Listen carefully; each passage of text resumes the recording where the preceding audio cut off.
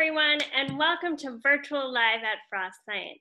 We're so happy to have you join us here today for this very special celebration, all about, themed around World Oceans Day. And we're very excited to have our special guest. He is our VP of Animal Husbandry and Marine Conservation here at Frost Science, Andy DeHarts. And he'll be giving an amazing presentation today that teaches you a little bit more about some of the very cool marine conservation work we're doing right here at the museum with wonderful partners around the community that are helping us to be able to make a difference in the world oceans. How are you doing today, Andy? Doing pretty good. How is everybody out there in uh, virtual world? uh, hopefully they're all doing as great as we are here. Um, and so, Andy, I wanted to ask, what made you get into kind of aquariums and marine conservation and, and, and being in this field? Sure, I will. I'll cover that a little bit in my slides. But I, for me, it started when I was really young. I saw my first shark at age five, snorkeling with my dad in the Florida Keys, and uh, from there, that was uh, a fairly life-changing experience. Got to get started in aquarium work at the age of 15, and have been doing it ever since. That's amazing. Well, I don't want to keep you from your presentation, so please, by all means, go ahead and get started and take over the screen. Um, okay. While he's doing that, just so you all know, if you've never been to one of these before, just go ahead and comment directly in the Facebook Live feed, and we will get those questions to him as quickly as we can throughout the presentation. So Andy, please take it away. Okay, well, again, my name's Andy. I'm uh, going to talk to you guys about some of our work here at Frost Science regarding ocean and marine conservation. Um, there will be a, a, point to this title, as you'll see along the way, but essentially from Finding Dory to the to the Super Bowl experience, uh, it all ties back into ocean conservation. Um, as mentioned, for me, uh, I got started uh, in my passion for ocean science, marine science, and all things fish uh, from a very young age, I started snorkeling at four, saw a six foot Caribbean reef shark at the age of uh, five or six years old, snorkeling with my dad in the Florida Keys. Um, grew up in the uh, Annapolis, Maryland area, so I was able to get started at the National Aquarium uh, in Baltimore there at the age of 15, selling tickets, which led me into uh, work on the animal side of things. And uh, through my career, I've helped actually open three major public aquariums in the country. Uh, the first being the aquarium at Omaha's Henry Doorly Zoo. Uh, I also kind of returned from there back to the National Aquarium in both their Baltimore and Washington, D.C. locations. Also got to open uh, Ripley's Aquarium of Canada in Toronto uh, in 2012. Uh, through that, through much of this time, I also got to serve as the shark advisor for the Discovery Channel um, and then in uh, 2015, came here to Frost Science to open my third and uh, hopefully final aquarium along the way. The, each of these uh, progresses is uh, is an amazingly hard job, 100-hour work weeks trying to get ready for opening. So every time I do it, I say I'm never going to do it again, but here I am. But hopefully, uh, we'll stay here in uh, the wonderful city of Miami. we do have not just our our aquarium here at Frost Science. We believe as as good stewards of the earth by having an aquarium here at Frost Science that we need to be heavily committed and involved in marine conservation. Uh, when I started here, we did have a, a, great raptor rehabilitation program, which I'll touch on. And we also had a program uh, looking at mangrove restoration. So, what we wanted to do was add to that complement, really bring in the marine um, component to it. And uh, we came up kind of with three main spokes to our wheel as we say in the conservation world here at Frost. And the, the, the main things that we look at are habitat restoration, exotic species, and uh, kind of a third catch-all bucket, which is called treasured taxa. That means these are specific, unique species that we can focus on and work with con- uh, conservation of these specific animals, it, but also kind of fall in the framework of our overall conservation plan. So, as I mentioned, one of our key components is habitat restoration. We do that both through coral reef restoration work as well as mangroves. And what this unique image shows you here is that they're they're all connected. The land, and unfortunately, this is a nice piece of land that's full of trees. Often here in our urban environment, like here in Miami, that land component is filled with uh, non-pervious substances like concrete, tar, asphalt, um, which all plays a role in the downstream effect of our waters. As rainwater hits the land, it washes land into the mangroves uh, and the marshes, then into the seagrass beds, and then into the coral reefs, all affecting this one gigantic ecosystem, which plays a vital role in not just kind of the ecological success of this system, but also the commercial viability. Many of these systems, again, are, are related. So the large snappers and groupers that people like to eat and commercially fish for off the coral reefs, they start their lives in the mangrove forests or the seagrass beds as juveniles. But the other really key component here in South Florida that you'll see, every single one of these environments, the coral reef, the seagrasses, and the mangroves, as a, as a downstream effect uh, in storm buffering. Each of these ecosystems helps buffer the natural storm systems that we get here in South Florida, like tropical storms and hurricanes. So infrastructure put into these, mangroves, coral reef, seagrass beds, all of the work that we do to help build up those ecosystems ultimately helps us on the land side as we deal with these stronger and stronger hurricanes and storms as we deal with climate change. So as I mentioned, one of our big key component programs that was here before I started is called MOVE. It's Museum Volunteers for the Environment. We actually have four specific sites. I can't tell if you guys can see through the map, but we have uh, our largest plot is on the north end of Virginia Key. Uh, we have uh, restoration of work that's been going on at um, the FIU's Biscayne Bay campus in North Miami. And then we also have two projects in uh, Greynolds Park, one in East Greynolds Park uh, and one in, in the regular Greynolds Park along the Oleta River there. So in all this program, it really has looked to activate uh, our museum volunteers. We also get a lot of work groups from com big companies that want to do a work day. Um, we take these groups out into the environment, remove uh, non-native vegetation, and restore that environment with native vegetation. In total, we've uh, cleared up and worked on 11 acres of coastal habitat. Again, four sites in Miami-Dade County. We've planted roughly about 50,000 native plants and removed untold um, non-native vegetation that can be harmful or disruptive in that ecosystem. And we've worked with hundreds of volunteers uh, through the years. So this is uh, some photos of our site at Virginia Key. The photo on the left is all a non-native slash pine, Australian pine um, ecosystem. This is not a viable shoreline ecosystem. These trees also do not really help with breaking up the wind. They're shallow rooted and oftentimes uh, tip over, causing great damage to power lines. And the, the image down on the bottom right is what that area looks like now. This is probably some most of the 11 acres uh, where it's been restored as a natural dune using native plants, native dune plants, and restoring that dune with sea oats. So Andy, this is incredible. I mean, the difference between these two sites is just, it's phenomenal what, um, you know, the whole team and the community have been able to do. Is this something that anybody can volunteer to do? Do you have to be a certain age or um, is it really open for anyone who loves nature and wants to make a difference? It really is fairly open. All that information can be found on our Move page on our on our uh, on our on our web page at frostscience.org. Uh, you can go to Move, you can go to the conservation page, but it is really open to all access. You can volunteer for scheduled events that are open. If you have a company that wants to do a company workday, you can find that information there. Our conservation manager, Shannon, does a great job of trying to find activities for a group of 25 to 50, even 100 people uh, we have FedEx uh, come out with us regularly. Wells Fargo has been a huge supporter of this program. They also bring their um, their corporate members out, their corporate employees out to help with this project. So it's a great way to get introduced and on a fairly easy, although the beating sun takes its toll, kind of a, a low impact, shorter exposure to being involved, getting dirty with uh, marine conservation. So this is kind of what some of that work looks like. You can imagine this was uh, right at the beginning. We ended up using bulldozers with the city and the county to clear a lot of the non-native vegetation out. We also removed uh, quite a bit of the topsoil so that any seeds and pods that were in that topsoil were removed so they didn't come back as weeds. And this is a group of volunteers uh, outplanting many of these sea oats that ultimately end up holding that, um, that sand dune together. And then this is an aerial view of that same beachhead.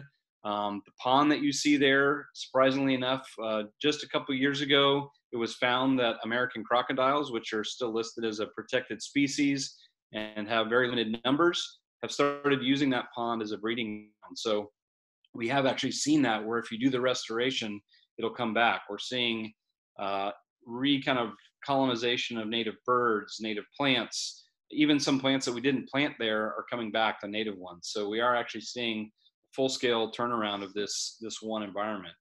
For us, the next step in this um, habitat restoration, shoreline restoration picture, we are looking at potentially taking some of the boat slips uh, at Museum Park, Ray Park here, next to the museum, and seeing if we can do a living shoreline. This is taking a very artificial concrete bulkhead uh, scenario and seeing if we can quote unquote soften that environment with mixed use of environmental concretes, doing things in a different fashion, and adding in the mangrove and vegetation components so that if someone does live along a seawall, they have they're lucky enough to have a house water, they want to do something.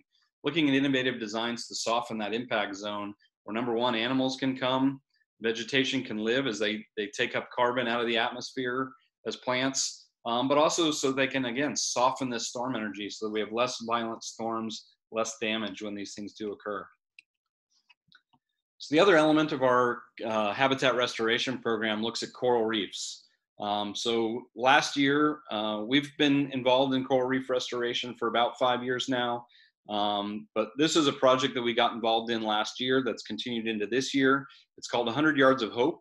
It started at the advent of the 100 year of uh, celebration of the NFL football year.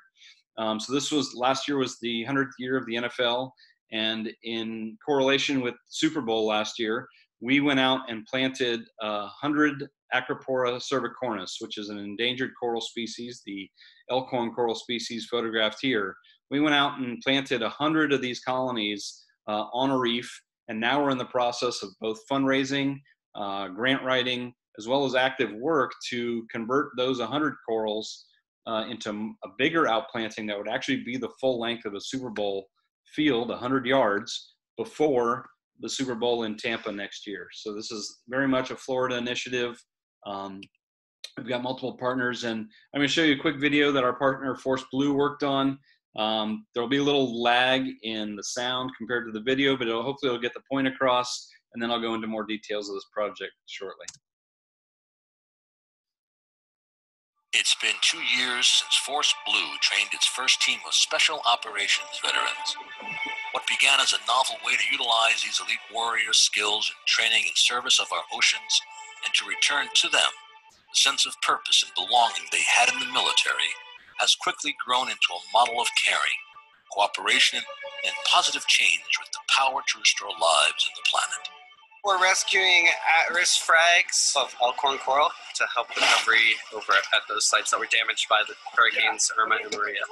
To take the training that we had and implement into real world use, that was one of the things I loved about the military is we had mission, we had purpose. There was something we were doing every single day, and there was reason behind it. It feels good. That self-respect and dignity that I had from the Marine Corps. No challenge, no adventure, nothing has filled that space until Force Blue. Force Blue brings this ability to accomplish these amazing tasks. Instead of being able to save 20 corals, we might be able to save 200 or 2,000. We in here tonight with a group of veterans on a new mission. They become eco warriors, out to save coral reefs, and in some cases, themselves. News outlets across the country have told the Force Blue story. We don't advertise this as a therapy program, but the process of it is very profound for the people involved. Now, we have a rare opportunity to tell that story to the world. Haldot's planting 100 corals in honor of the NFL's 100th season sound. Well, it sounds like they're making a difference. This year, in honor of the NFL's 100th season, Super Bowl 54 in Miami, and America's military veterans, Force Blue will be spearheading 100 Yards of Hope a football field sized coral reef restoration project in the waters off South Florida. We're at the restoration site, so we've arranged the plot to look like a football field. So each buddy group is actually going to take one of the yard lines to plant 12 corals to build the perimeter of the field, and then we're going to complement the inner part with a lot more of the high density restoration to really make it a beautiful site. And this is entirely different. Most of the things that I've done have been more on the demolition side, so this is pretty neat in the restoration side capitalizing on the platform afforded by the NFL and its centennial season, Force Blue and its scientific partners intend to make this the most comprehensive, most collaborative restoration effort ever mounted. But we need your support. Join us on this historic mission and help the Special Operations veterans of Force Blue showcase what's possible when we all care enough to care. Visit www.forceblueteam.org. So that was a, a, project that we started last April. Again, there's been a hundred corals that went into the into the uh, reef initially. We've had two other plantings since then, and uh, it is a great partnership between Frost Science, University of Miami, the Veterans Group Force Blue, as well as the Super Bowl uh, Committee, NFL Green, and uh, starting as with us as of next year, because the Super Bowl will be going to Tampa, will be joining us will be the Florida Aquarium as well as the SECORE organization. So this is a multi um, organizational effort that includes both nonprofit environmental agencies, public aquariums, universities, as well as veteran groups. And one of the most amazing things about this program is we're able through this diverse group to be able to talk to people from both sides of the, the spectrum, both sides of the aisle. The folks that want to support uh, kind of reintroducing veterans into conservation work might contribute to Force Blue. Those interested primarily in the natural history aspect of it and restoring a reef uh, can come through us or University of Miami. So it really is a, a well-rounded kind of well orchestrated machine that hopefully will end up with a result of a, a fully restored reef. So this is incredible work. I mean, what you all are doing, I I honestly don't have words for it. I love this project so much and and how many connections it's bringing together. But we did have a question from Lori. She's wondering why are the corals dying in the first place? Is it pollution? Is it something else? What's happening? That's a great great question. Uh, unfortunately, here in Florida, for since about 2013, there's been a, a massive disease that's taken place along the coral reefs. It's called stony coral uh, disease, and it's killing corals at an alarming rate. And it's kind of trending south, which is contrary to what a lot of people would have normally expected. But it is trending south down the Keys. Uh, it's affecting certain coral species more than others.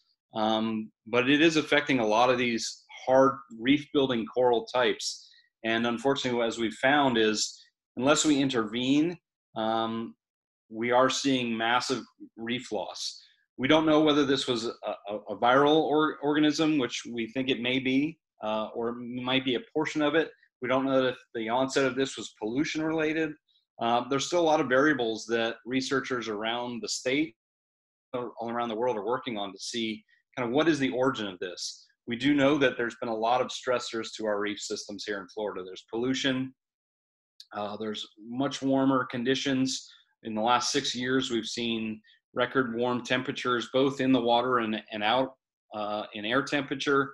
We've seen massive, you know, category four, category five hurricanes in the Caribbean basin. Um, so we are seeing a lot of stressors to this environment, pollution, plastic pollution.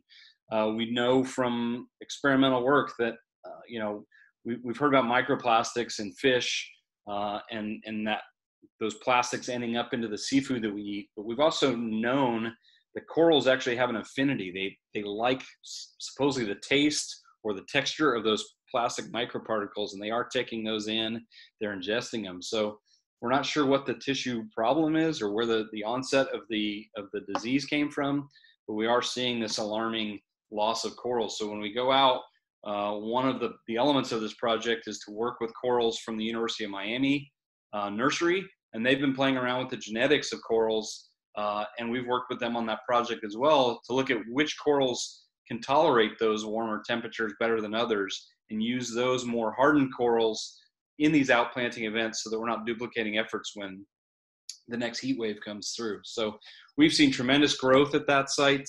Um, we've seen these corals take on a, a, you know much larger size than than they should probably do in that short a time. We're also anecdotally seeing a lot of fish diversity come back to this reef site, and this is right off of Key Biscayne and uh, pretty much well within reach of downtown Miami for those people that want to snorkel and dive. Uh, so this we're not just kind of doing this in a in a reef that is in the middle of nowhere. This is critical to Key Biscayne and, and downtown Miami. these are again some of the some of the players here. Um, you know, for myself, I grew up in Annapolis, Maryland, outside of the gates of the Naval Academy. My dad was a Navy diver, um, so for me, this is a really cool full story circle. Getting getting to hang out with my superheroes, the Navy SEALs, uh, and then talking sharks and talking corals with these guys, and they're just as interested in what what we're doing as, as and we are of, of what they've done to protect this country. So it's it's been a really neat uh, program that we've been lucky to be involved in. One of the kind of we've left kind of habitat restoration is one of the key spokes to our conservation programs here at Frost. The next topic we get into that we that we focus on is exotic species. Our focus primarily is on marine exotic species. A lot of people wonder what's the difference between an exotic species and an invasive species. Essentially, to boil it down, an invasive species is one that has become established, whether it's been brought in unintentionally or intentionally. Um, it's in the environment, and not only is it established, it's breeding, um, but unfortunately, the big factor here is that it's harmful to the ecosystem. So things like the lionfish, uh, those are animals that initially were exotic species. Enough of them found each other so that they could have a, a stable population. And what we found with lionfish is they they are truly invasive species. They're the perfect invader. They're venomous. They have no natural predators. Even in their native range, they don't have na- uh, natural predators. Uh, they're very quick to reproduce. They lay thousands of eggs at a time. Their reproductive strategy is very successful.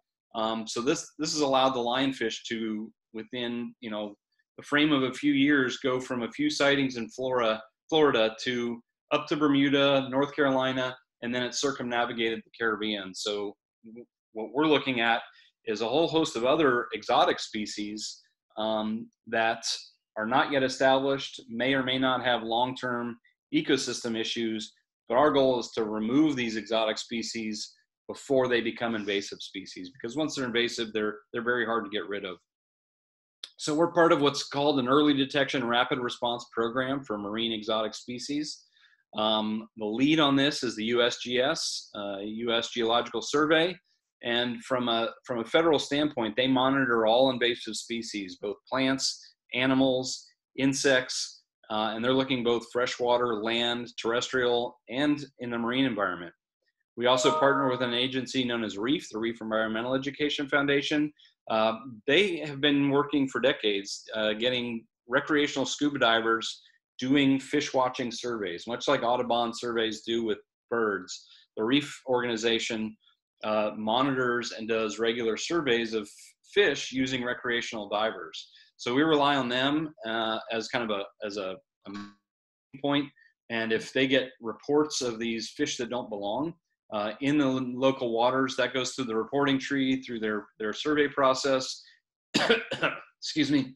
USGS is mobilized, and then our role in this rapid response program is we actually physically look at what the data is, what the species is, where it was found, and try to mobilize a collecting effort and oftentimes we're able to do that within 48 hours. Um, the crazy thing here is this oftentimes involves tons of permitting. It'll happen in the National Marine Sanctuary. It'll happen in a, a state park. Uh, we have we have permits to collect fish for the aquarium, but oftentimes we're excluded from certain zones, which is great. We don't we don't want to normally be collecting in the National Marine Sanctuary, um, but it is important that we use the USGS and our relationships with the Florida Keys as well as local state parks to get the proper permitting to do this work. But oftentimes we're able to be in the water 48 hours post sighting uh, to mount a collecting effort to remove these exotic species from the local reefs. And then we actually have an exotic and invasive species exhibit here at Frost that most of these animals, if they're if they're the right size, come back and are part of that permanent exhibit here at Frost so that people learn about the dangers of invasive and exotic species. We also have a couple other larger Indo-Pacific uh, coral reef exhibits where these animals go. So for example, in just the last five years, these are the species that we've responded to. Uh, foxface, Picasso triggerfish, sailfin tang, yellow tang, batfish, humbug uh, damsels, um, and there we go. We have Finding Dory. So now you've seen how we've gone from the Super Bowl to Finding Dory, uh, the palette surgeonfish on the bottom right. Um, so all of these animals are very very heavily imported animals for the pet trade. So our firm belief is that these animals are not coming in um, from ballast water from container ships. They're not coming in um, in other fashions uh, on oil rigs. These are animals that are have clearly been intentionally released by home aquarium owners. And unfortunately, most of these home aquarium owners probably are trying to do the right thing. They've got a fish, they have to move, or it gets too big for their aquarium. They probably go back to their local pet store and say, hey, can I turn this in? And most pet stores are not set up to handle that kind of situation. So we've been working at with the next kind of tier of this program to look at pet amnesty programs. There's great pet, pet amnesty programs uh, that have been run by Florida's Fish and Wildlife Commission. We, and they've been mo- mainly focused on kind of some of the other animals like lemurs and, and monkeys. And what we hope to do is provide a, an aquatic component to that, partnering with uh, Zoo Miami, and uh, really kind of take on one of the, the problems to this process is, is homeowner or pet owners not feeling like they have a place to go. Uh, we can use our public aquarium network to, to, to home a lot of these animals. So all of these animals are ones that we've responded to. We have about an 80% success rate on catching these.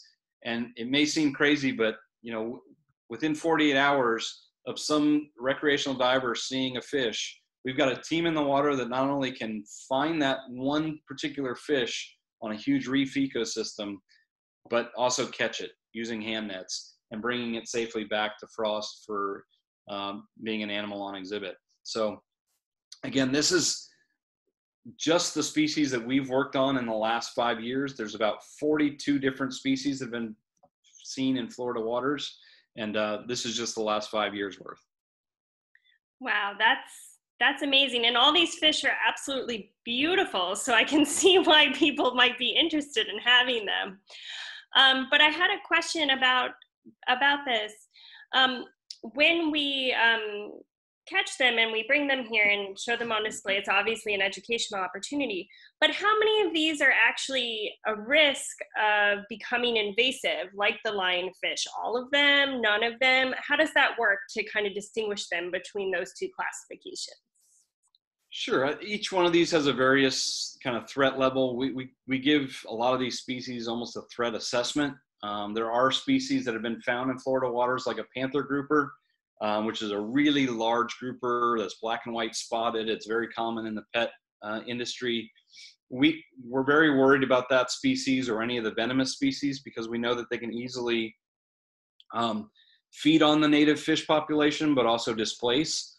And that's really the worry with most of these species here is that we're not really worried about a, a direct negative impact on the environment. A lot of these surgeonfish, there's actually one, two, three, four surgeonfish, five surgeonfish on this list. We have three surgeonfish species here in the Caribbean and the Western Atlantic. And the, the worry is that um, these species might displace our native species and make them more rare, um, push them kind of out on the fringes. Um, although they probably wouldn't have a negative environmental impact, they'd probably fill that same niche that our, our surgeonfish fill. But we are con- cognizant that they might displace our current ones. Other ones like the triggerfish in the top middle, uh, that's a fairly unique fish here uh, and could play a role in environmental damage on what it's feeding on. Um, and then the top left one is a is a uh, venomous species called a foxface. That whole family of fish does not exist in the Caribbean. So we are worried about kind of genetic issues as well. So again, kind of to, to finding Dory, this was unfortunately one we, we did score a home run on. Um, we got reports from Phil Foster Park uh, at Blue Heron Bridge. This is one of the most heavily uh, sought after dive sites uh, in the United States. Uh, there are literally thousands of divers here on a weekly basis.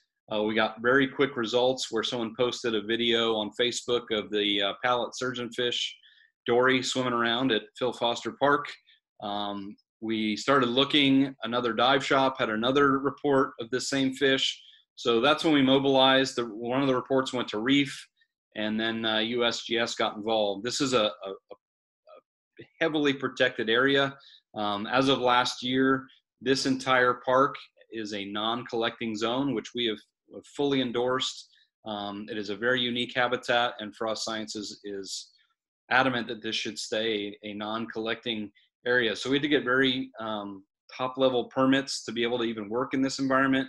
We brought a street team with us to talk to the other divers in the area to number one, see if they'd seen us fish, but also explain what we were doing.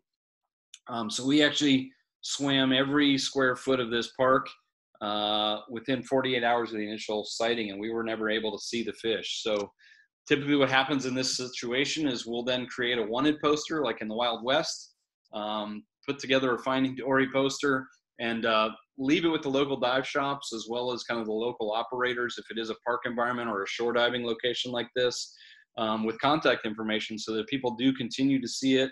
We also work with the local diving clubs. There's a huge uh, diving photography club here uh, at Blue Heron Bridge. So we work with that group to just kind of pass the word along that if this fish is seen later, uh, to let us know immediately. And we have not gotten a report of this animal. So either it went on its way, moved to a different location, um, or it, it didn't make it in its new environment. Sometimes when these animals are dumped into the ocean, uh, they're kind of in bad condition. Their owners didn't take great care of them, or they were not acclimated, you know, very slowly to this environment, and just the stress of different pH and different temperature uh, can cause the animal to not be doing well. So we don't know what happened in this case, but uh, unfortunately, Dory is still on the loose, and uh, we've got our network working on whether we can find it again. So then the last kind of range of our program, go ahead, Angela. Yeah, we just had a quick question about those. Um, Sarah was asking if any of these fish, because I know I've heard lionfish is actually quite tasty, can be used for food. Yeah, pretty much most of them can be used for food. Um, the one thing with lionfish is is because they are established, because they are invasive, we are looking at ways to thin their numbers. And from a um, dietary standpoint and from a taste standpoint, lionfish is actually a really good fish to eat. Um, many people actually use the Seafood Watch program to, to look at sustainable seafood. There's a green, a yellow, and a red level. Well, the, the lionfish is a gold level. It's the only animal that I know of that you can actually eat and actually be helping the planet in the process, provided that they came from the Caribbean. So if you do see lionfish on the menu at various restaurants, which we're seeing more and more, they are being sold at Whole Foods. Um, there's actually a lionfish cookbook uh, that one of our staff here at Frost Science helped write. It's called the Lionfish Cookbook. Um, so it's a, it's a great utility to have in your pocket. If you do see lionfish, be daring. Uh, there is a big difference between venom and poison. Venom is something that needs to be bitten into you or injected into you, like a lionfish that has uh, venomous bar, venomous spines at the top of its body, um, and they are not poisonous. Poison is something you need to eat, like a poisonous frog or poisonous plant. Um, that is poison. So lionfish are very safe to eat, but you don't want to get stung by it. Although it's not deadly, it does hurt. I can tell you that firsthand. So our next category is treasured taxa. Again, this is kind of our, our catch-all bucket of how do we focus on unique species work. Coral restoration work involves the whole ecosystem. So does mangroves. Um, but there are certain elements of, of animals that we want to work with specifically. Sea turtles, uh, raptors, and the picture on the left is our um, pillar coral. So one of these that we've been a long-standing program here uh, at Frost Science, even back when we were the Miami Science Museum in Coconut Grove. We have the Falcon Batchelor Rehabilitation Center, um, funded and sponsored by the Batchelor, uh, Batchelor Foundation. And this is our place where we actually are able to, to serve as a, as a tool for the community. So we have a full-time veterinarian and we have rehabilitation staff that can take in any injured or wounded bird of prey. So that's a falcon, an owl, a hawk, and an eagle.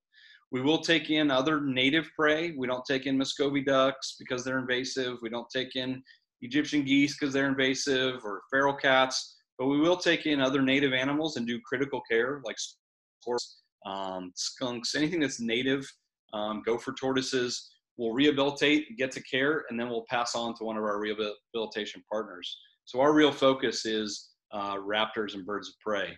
Um, so you can see here the x-ray is a bird uh, that has a shattered wing. Most of our cases come in um, through a variety of ways. A real common one is people doing tree uh, service in their in their lawn. They'll actually not pay attention and they'll cut down a big limb that has a, a nest of baby birds in it. Oftentimes these are screech owls. They're injured during the fall. we get a lot of collisions with cars, uh, which usually results in broken wings or skull fractures. Uh, unfortunately, even though all of the birds of prey are protected by federal law, we do get quite a few gunshots, people that try to shoot the falcons and hawks in their backyards. And then we unfortunately get quite a bit of poison cases where um, someone's been using rat poison or mouse, mouse poison to get rid of pests or, or nuisance species in their yard.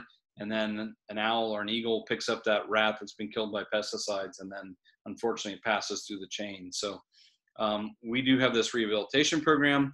Unfortunately, right now it's it's kind of on furlough, uh, not because of the COVID crisis, but as we moved out of the uh, Miami Science Museum in, in Coconut Grove, uh, we had a great, exciting opportunity to build a new rehab facility at Greynolds Park. Uh, so that's a project that we're under underway with right now. It's going to be a state-of-the-art facility with new uh, digital X-ray equipment, a new facility, top-of-the-line equipment, um, ability to share imagery with other facilities, and better holding facilities, including a really long flight cage, which is required at the end of the rehabilitation process as we want to transition all of these birds from an injured status to a release status. Um, but the last phase is putting them in a long, 80 foot long flight cage where they're actually eating live prey. We, we give them farm raised mice. Um, so they're actually regaining their ability to hunt. Um, and then once they're able to prove they're capable of, of, of unhindered flight and unhindered hunting ability, we are able to release them.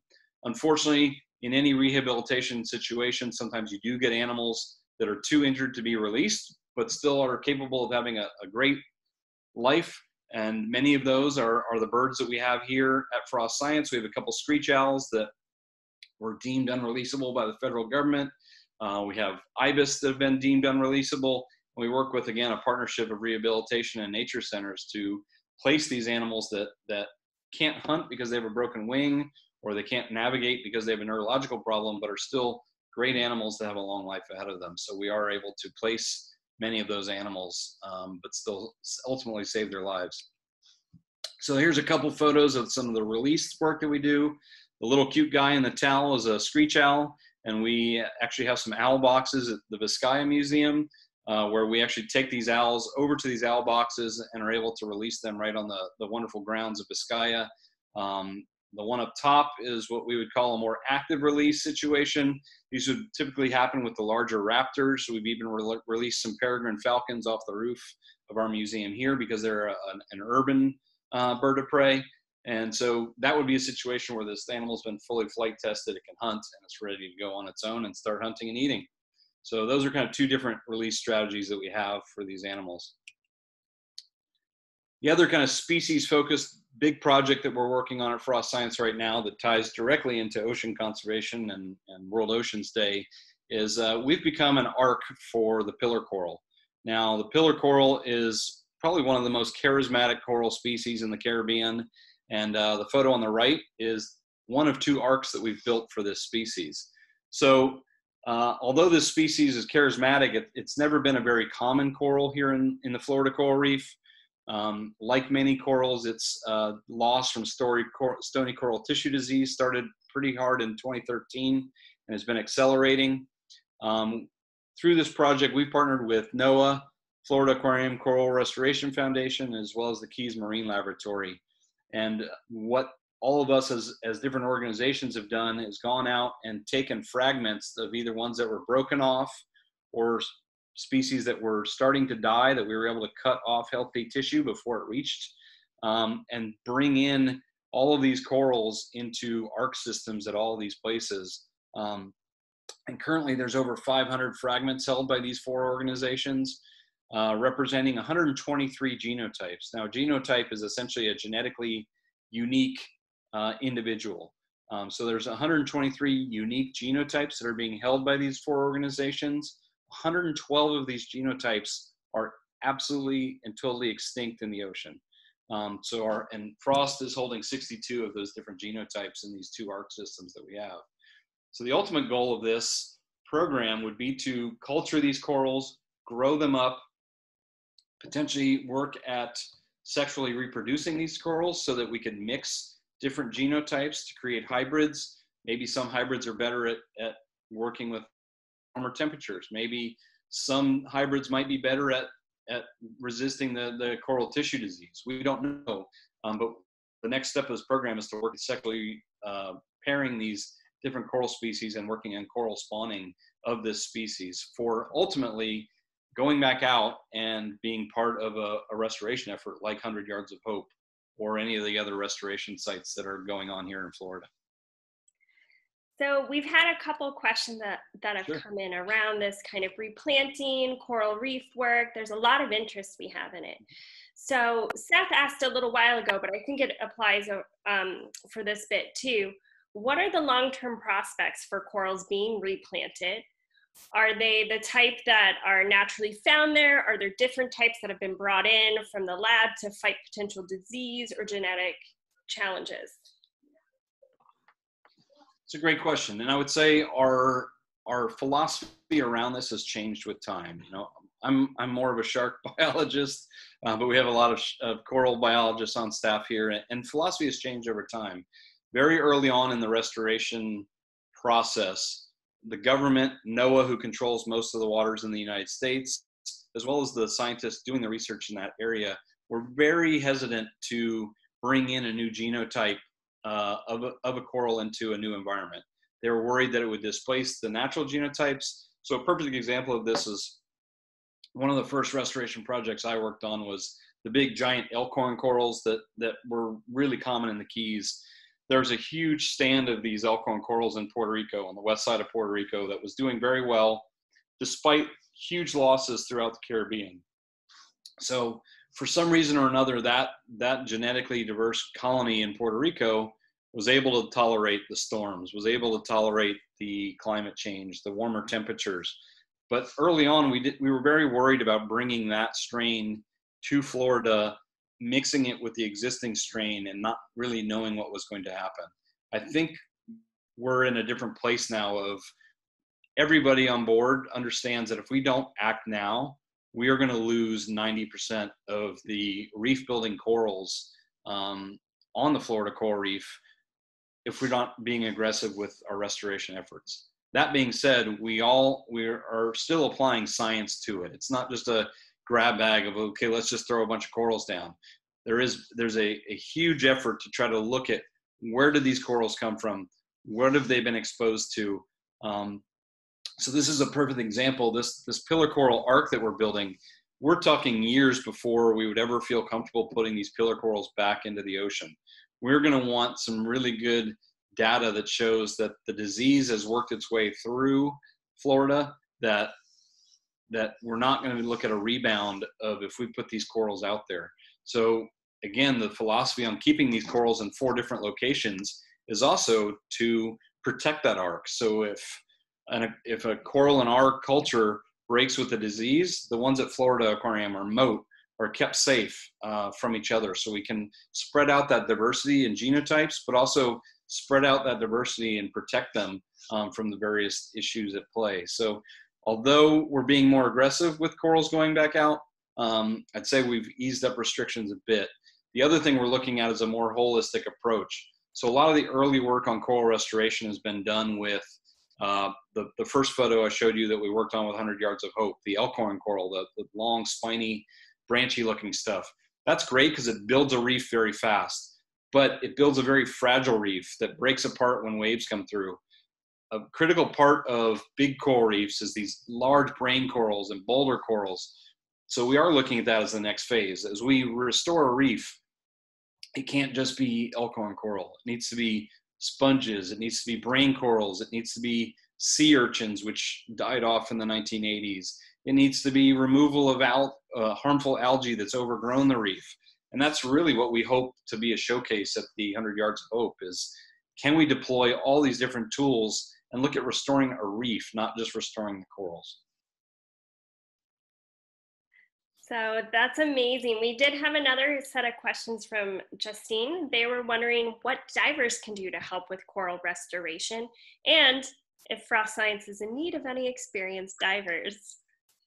Well, there's certainly a lot that, that recreational divers can do. There's a number of agencies. The one that we're partnered with is Rescue a Reef, which is a UM program. And they actually do have the ability to take recreational divers that dive for fun uh, and engage them into this part of our coral restoration program that we're working with them. So although we're not at the point yet that we're running volunteer trips out there, we hope to get there someday. Rescue a Reef is our partner, and they leave uh, typically out of Biscayne Bay, uh, Virginia Key area. They've, there's a marina there, and they've, they've partnered with Paradise Divers, uh, which is a, a, local dive shop, to, to run volunteers out there. Um, you know, certainly every diver can help spreading the word. Um, I think a lot of people still think corals are plants, not animals. That you know you can touch them and walk on them and feel you know they're going to survive. But I think what we've seen through time is that you know corals are a sensitive animal that, that need to be protected and most importantly divers can use their political voice their voting voice uh, when it does come time to changing commission rules within the fwc changing you know harvesting seasons changing where commercial fishing can happen, voting for a, a, new marine protected area. Those are probably the most important thing that recreational divers can do, and that's using their voting voice.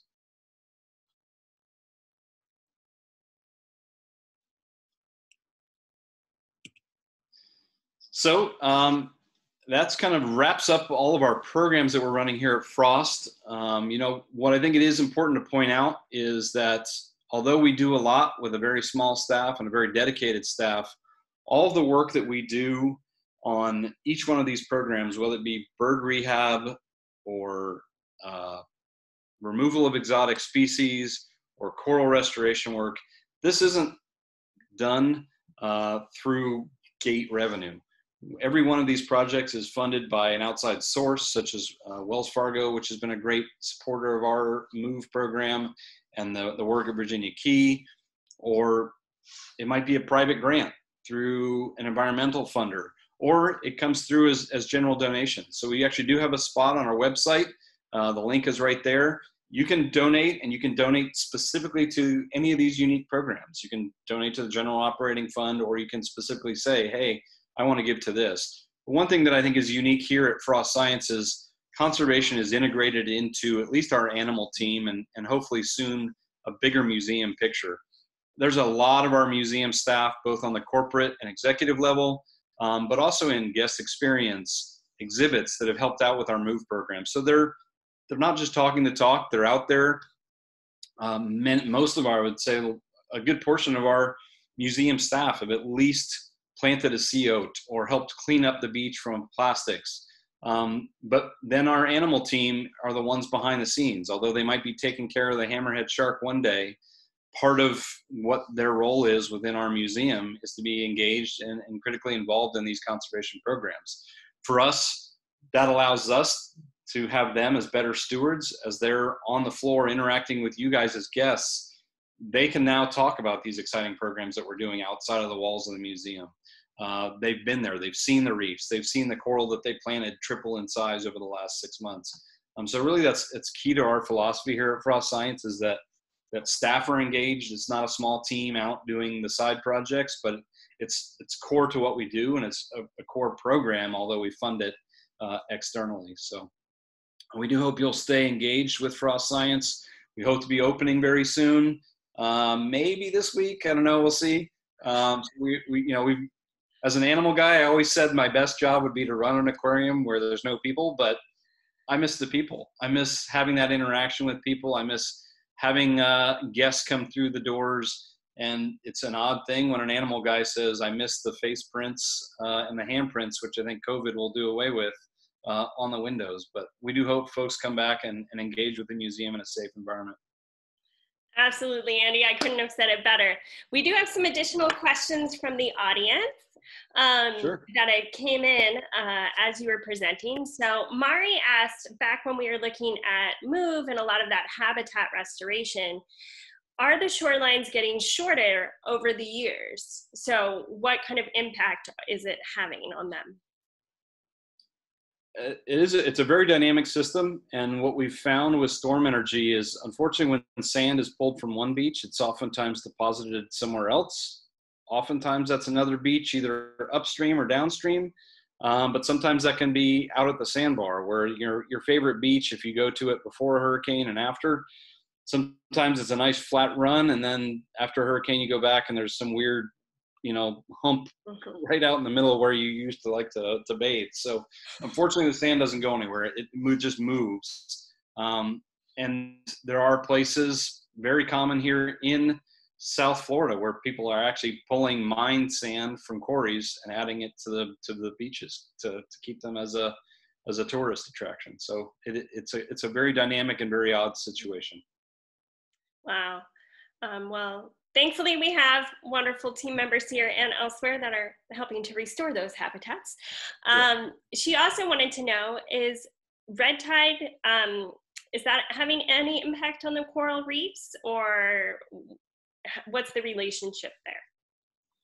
Well, red tide is a, is a natural process. It gets worse when there are more phosphates in the water, which there is a corollary to, um, you know, Lake Okeechobee and the water that comes out of Lake Okeechobee and the amount of phosphates in the ocean that does correlate pretty frequently with red tide events. Until about two years ago, there had never been a red tide event in Miami-Dade County. Um, and even the Keys, it's very rare. Although you know, I'll, oftentimes the water on the backside of the Gulf comes down to the Keys, but for the most part, Monroe County, Miami-Dade, and Broward have been relatively free of red tide, and that's where most of the coral reefs are. So as of this point, we're not seeing an impact between red tide and the the coral reefs. Although, if we were to see a lot of phosphates in the water, it would have a similar problem in that the, the, the algae in the water would grow quicker. And that algae, unless it's controlled, has a real tendency to smother the corals and, and kill them. Oh, yeah, we don't want that. Definitely don't want that.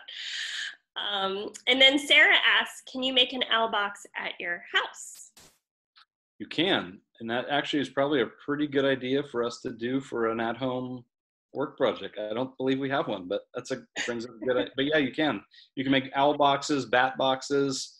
Um, those are great things. If you do have a, a heavily forested yard, uh, those are fantastic things. And, and I'm sure there's lots of links on how to out there, but maybe that's a DIY process project for us later. Yeah, I'll add that to the list. um, and then lastly, uh, Mari asked, uh, where can you find lionfish around here? Like, where are they most commonly found? I wish I could say they were hard to find. Uh, our our seawater intake for the aquarium, we actually have a pipe that runs from the basement of the aquarium all the way out in front of the Perez Art Museum. Uh, we go in there and dive to check uh, to make sure it's not fouled. Every every single time I go there, there's at least three or four lionfish on a artificial seawall.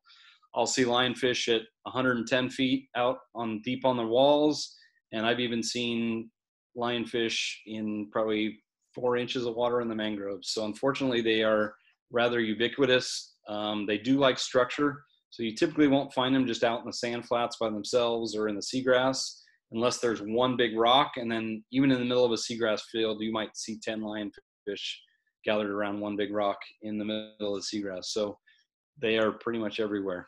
And they're not small either, are they? They're getting pretty big out there. Yeah, I mean, you see all size classes. The the crazy thing is, there's been more research done on Atlantic lionfish than there's ever been done on lionfish in the Pacific. But we do know that the largest lionfish ever caught came from the Atlantic, not from the Pacific Ocean. So No natural predators. They just get to eat. keep eating. Well, thank you so much, Andy, for your time Absolutely. today. This has been a wonderful presentation and a beautiful way to celebrate World Oceans Day. We'd like to thank our sponsor for this event, Miami Downtown Development Authority, uh, who's our wonderful sponsor for this one and sponsored Earth Day back on April 22nd. So thank you very much to them. This is our last virtual live at Frost Science for the time being. Um, so we thought we would end with a wonderful bang with Andy, um, talking about wonderful work we're doing here and ways that you can get involved by joining us. So if you visit frostscience.org, you can learn more about all of these programs that he talked about today, as well as um, you can view some of our old virtual lives back in April where we had our veterinarian, Dr. Kristen Dubé, talk about the animal care that goes on here. And also um, Shannon Jones, who was our, who is our conservation programs manager and runs Move. So you can learn and see her Earth Day talk to learn more about things you can do to help the environment. So thank you everyone so much for joining us today. Thank you, Andy, again for being mm-hmm. our wonderful presenter. And we all hope you have a wonderful and happy World Oceans Day.